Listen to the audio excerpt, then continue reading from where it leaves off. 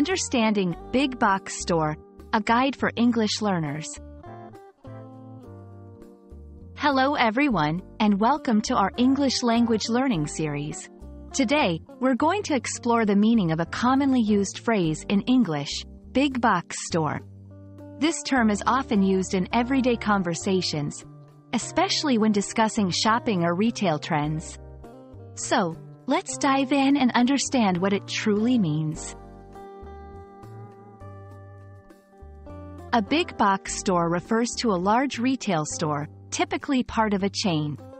These stores are characterized by their massive size, often resembling a large box from the outside.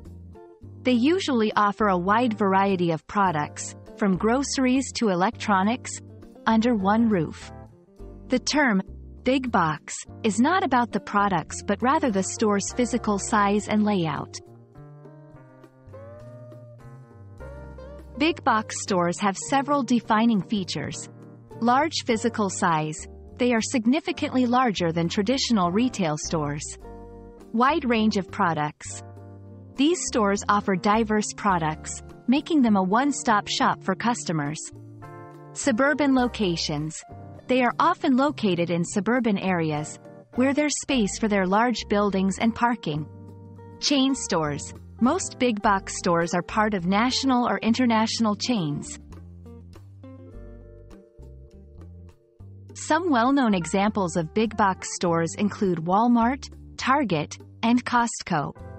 These stores have had a significant impact on retail trends, consumer behavior, and even urban planning, often sparking debate over their effect on local businesses and economies.